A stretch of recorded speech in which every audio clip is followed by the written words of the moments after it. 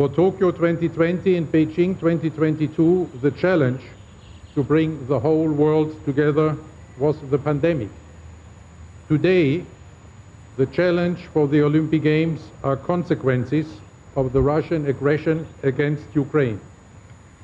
Russia's violation of the Olympic Charter by violating the Olympic Truce Resolution adopted unanimously by the United Nations General Assembly.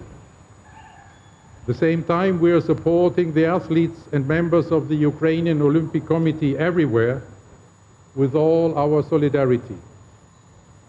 But in contrast to the far too many other wars and conflicts in our world, regarding this war, some governments started to decide which athletes would be allowed to participate in international sports competitions and which athletes not.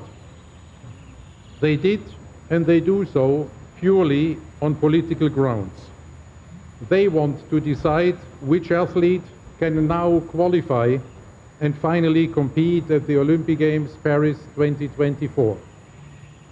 If sport becomes, in this way, just another tool to achieve political goals, international sport will fall apart. Because it is the very essence of international sport that decisions about participation and results of athletes have to be based purely on the sporting merit of an athlete. If, however, this kind of politicization of sport becomes the norm, it will be impossible for sport to be such a unifying force. We need the participation of all athletes who accept the rules, even and especially if their countries are in confrontation or at war. A competition between athletes from only like-minded states is not a credible symbol of peace.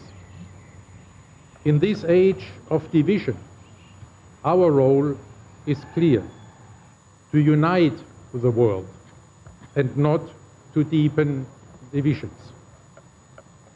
To live up to this unifying mission, the IOC must be politically neutral to allow future hosts to welcome the best athletes of the entire world, regardless of political conflicts.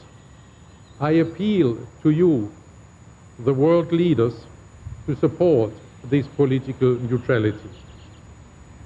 France, Italy, the United States of America, and Australia are the next Olympic hosts. In at least eight G20 countries, there is already now declared interest in hosting future Olympic and Paralympic Games. This is why I humbly ask you, give us this opportunity to contribute to peace and understanding through sport.